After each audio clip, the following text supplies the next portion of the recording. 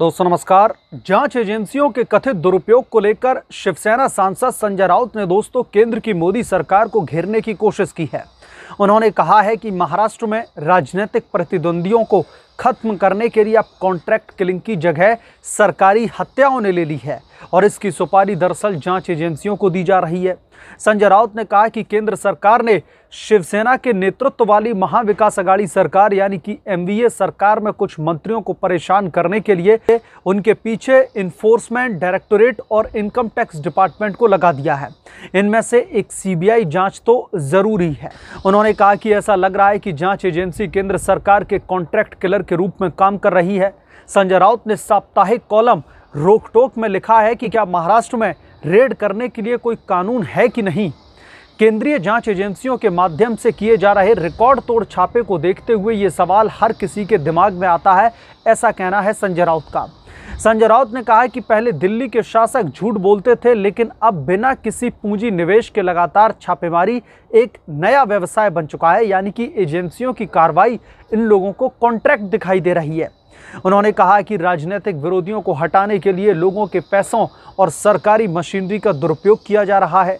अतीत में मुंबई में जब अंडरवर्ल्ड सक्रिय था, तब कॉन्ट्रैक्ट किलिंग चलता था। गिरोह द्वारा विरोधियों को मारने के लिए कॉन्ट्रैक्ट पर गुंडे लगाए जाते थे। लेकिन अब इसे सरकारी हत्याओं में बदल दिया गया। यानी कि दोस्तों, आप लोग समझ सकते हैं कि अंडरवर्ल्ड के कारनामों का कनेक्शन संजय राउत जाँच एजेंसियों से कर रहे हैं। केंद्रीय जाँच एजेंसी दिल्ली में सत्ता में रहने वाली पार्टी के लिए कॉन्ट्रैक्ट किलर के रूप में काम कर रही है, ऐसा कहना है राउत का। राउत ने कहा कि इन एजेंसियों के माध्यम से आवंचित राजनीतिक प्रतिद्वंदियों को खत्म करना एक नई नीति बन गई है। राष्ट्रवादी कांग्रेस पार्टी यानी कि एनसीपी के नेता और राज्य के मंत्री नवाब मलिक के दामाद, समीर खान की नारकोटिक्स कंट्रोल ब्यूरो यानी कि एनसीबी द्वारा गिरफ्तारी का ज़िक्र करते हुए संजय राउत ने कहा कि खान को ड्रग रैकेट में शामिल होने के बहाने गिरफ़्तार किया गया था। आठ महीने के लिए जेल में डाल दिया गया था। संजय राउत ने दोस्तों अपने लेख में कहा अब अदालत ने उन्हें जमानत दे दी है, अदालत ने कहा कि खान के पास हर्बल तंबाकू पाया गया, न कि ड्रग्स। मलिक को एनसीबी अधिकारियों के खिलाफ मामला दर्ज करना चाहिए। शिवसेना नेता ने आगे कहा कि सीबीआई मुंबई पुलिस के पूर्व पुलिस कमिश्नर परमबीर सिंह के ठिकानों का पता लगाने के बजाय महाराष्ट्र के पूर्व गृह मंत्री अनिल देशमुख के घरों पर छापा मार रही है, जिन्होंने देशमुख पर भ्रष्टाचार का आरोप लगाया था। तो दोस्तों, आप लोग समझ सकते हैं कि संजय राउत किस तरीके की भाषा का इस्तेमाल कर रहे हैं, किस तरीके के स्टेटमेंट दे रहे हैं, जो अंडरवर्ल्ड किया करता था, जैसे कि वो जो है नेताओं को, गुंडों को दरअसल कॉन्ट्रैक्ट देकर उनको मरवा दिया करते थे। आज वही इन्वेस्टिगेटिव एजेंसी करती हुई दिखाई दे रही है, ऐसा कहना है संजय राउत का। और अनिल देशमुख के ऊपर छापेमारी को लेकर खास करके महाराष्ट्र के नेता दोस्तों, बहुत ही ज़्यादा परेशान दिखाई देते हैं। और वही संजय राउत का एक बार फिर से दर्द निकलकर सामने आ चुका है कि परमबीर सिंह तो फरार हो गए हैं। परमबीर सिंह पर कोई कार्रवाई नहीं कर रहा है, लेकिन अनिल देशमुख के घरों पर ताबड़तोड़ छापेमारी की जा रही है।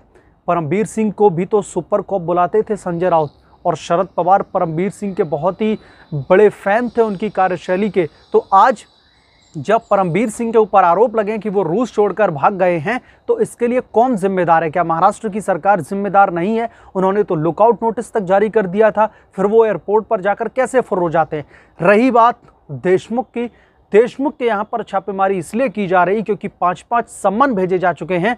उसके बावजूद भी वो ईडी के सामने पेश नहीं हुए पूछताछ के लिए तो फिर छापा ना मारा जाए तो क्या हाथ पर हाथ रखकर इन्वेस्टिगेटिव एजेंसियाँ बैठी रहें कि देशमुख कब आएँगे सरेंडर करेंगे और हम पूछताछ करेंगे?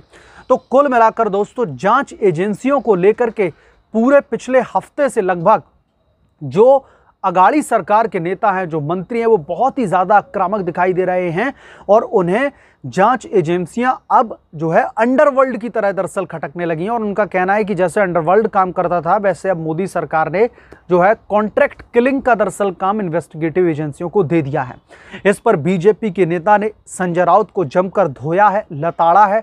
उन्होंने कहा है कि इस तरीके के जो बहुत ही ज़्यादा गंभीर और घटिया नीच आरोप लगाए जा रहे हैं इन्वेस्टिगेटिव एजेंसियों के ऊपर, जो कि हर वक्त देश की सुरक्षा के लिए तत्पर रहती हैं, ये बहुत ही ज़्यादा निंदनीय और दुखद है।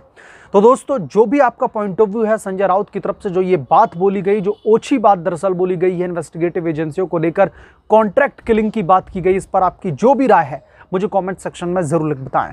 इस वीडियो में इतना ही। जल्द मिलूँगा किसी दूसरे अपडेट के साथ में। तब तक के लिए धन्यवाद। अगर आप लोग चैनल पर आए हैं तो प्लीज़ चैनल को सब्सक्राइब करें और साइड में बेलाइकन को भी प्रेस करें, ताकि जब भी मैं कोई नई वीडियो लेकर आऊँ तो सबसे पहले नोटिफिकेशन आपको मिले।